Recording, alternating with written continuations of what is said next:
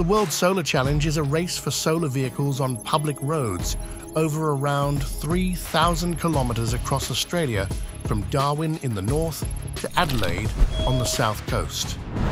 It is considered the toughest race of its kind in the world. Die Bridgestone World Solar Challenge in Australien ist das Hauptrennen aller Solarteams. Äh, da treten um die 50 Teams von weltweit unterschiedlichen Universitäten gegeneinander an mit ihren Solarrennwägen.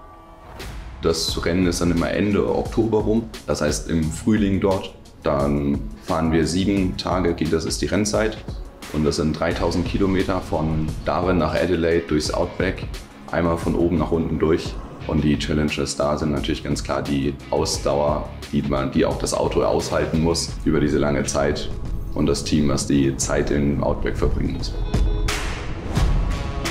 Zum aktuellen Zeitpunkt besteht das Team aus über 50 Studierenden der RWTH und FH hier in Aachen, aus unterschiedlichen Themenbereichen auch. Und das Ganze unterteilt sich dann in die verschiedenen Abteilungen, die wir haben. Dazu zählt unter anderem das Fahrwerkdepartment oder die Struktur, aber auch eher nicht technische Abteilungen wie unser Marketing oder das Sponsoring. Ich glaube, die anfängliche Motivation für die meisten Mitglieder ist erstmal irgendwas neben dem Studium zu machen, was wirklich auch praktisch tatsächlich ist. Wir lernen natürlich sehr, sehr viel theoretisch im Studium, aber auch wirklich das umzusetzen, ist, glaube ich, so einer der Gründe, warum man anfängt, in diesen Verein zu kommen.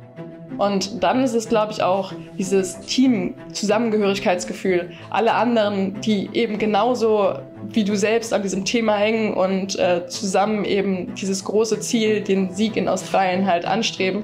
Und ich glaube, das ist so wirklich der Teamgeist, der die Leute dazu bringt, halt dann im Zweifelsfall nochmal sechs Stunden länger äh, in der Woche in der Werkstatt zu sein und hier und da vielleicht das Wochenende doch nochmal länger zu arbeiten.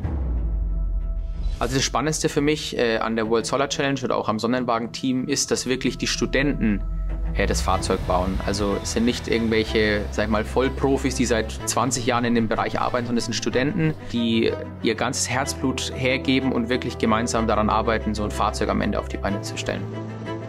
Klar, schwierige Momente sind immer da, aber wenn man dann denkt, ja, äh, in drei Monaten, vier Monaten sind wir in Australien und äh, fahren mit unserem eigenen Auto, selber gebaut, nur mit der Energie der Sonne einmal quer durch, durch den Kontinent. Das ist dann immer motivierend. Natürlich wollen wir das Rennen gewinnen. Wofür bauen wir das nicht, um genau eben diesen Preis mit nach Hause zu nehmen?